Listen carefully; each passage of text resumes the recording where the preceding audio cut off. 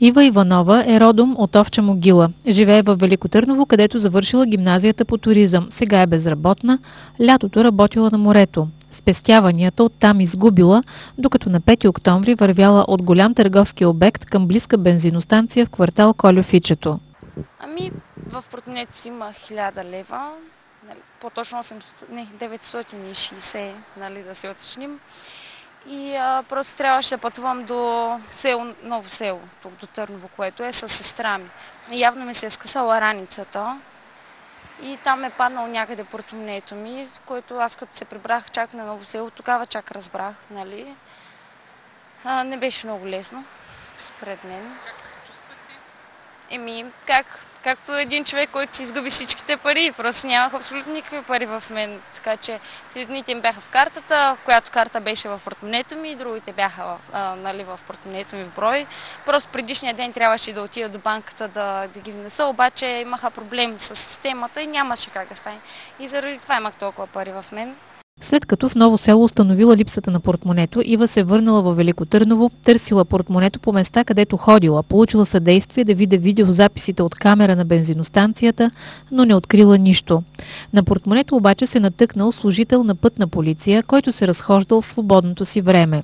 На 5 октомври тази година, след приключване на работната смяна, прибрах се вкъщи, съответно излязох по лични ангажименти и при отиване към автомобила ми забелязах в тревната площ до него портомоне на земята, явно загубена.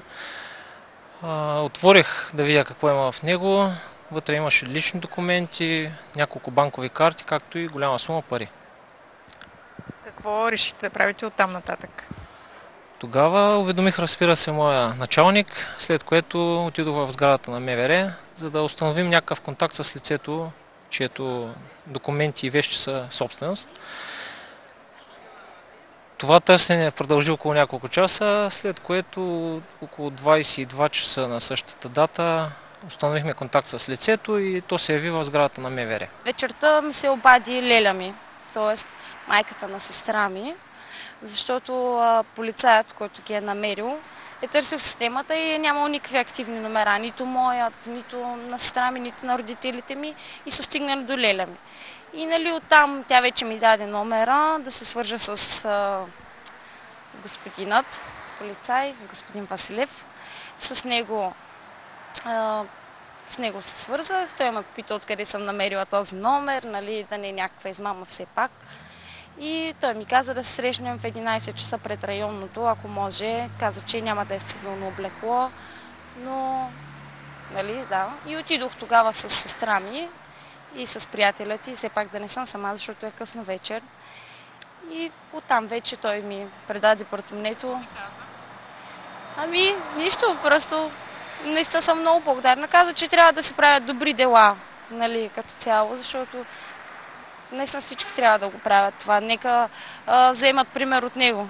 Късно вечерта полицаят Георги Василев издирил Ива. Обадил и се по телефона. И му казах, че там колко парички съм имала в едната преграда, колко, две дебитни карти, нали, и, а, и той каза, да, всичко е вътре. Описахме всичко както трябва, нали, всичките парички, дебитните карти, за което много му благодаря наистина.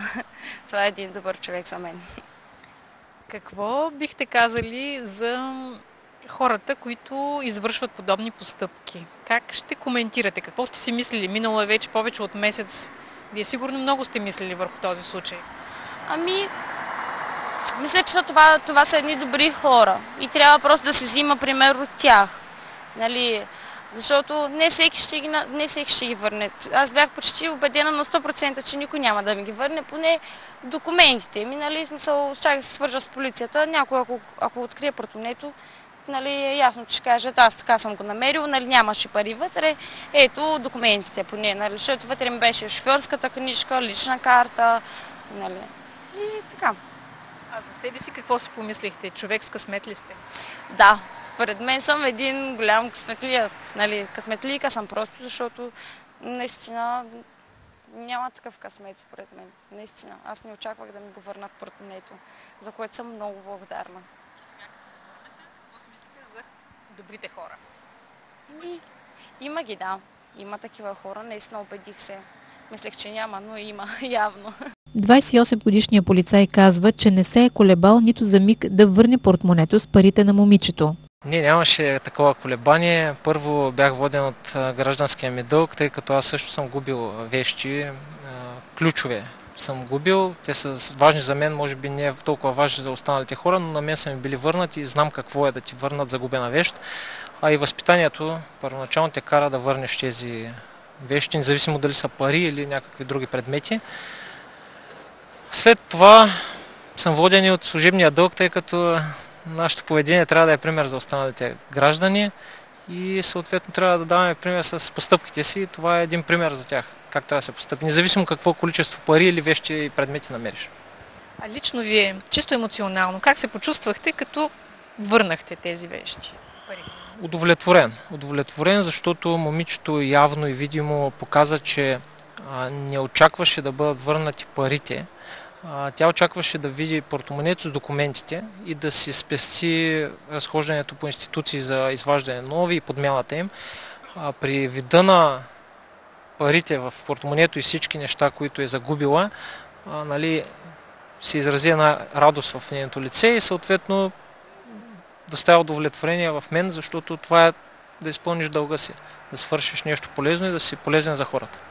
Ръководството на областната полиция е написало благодарствено писмо до доблестния служител на МВР.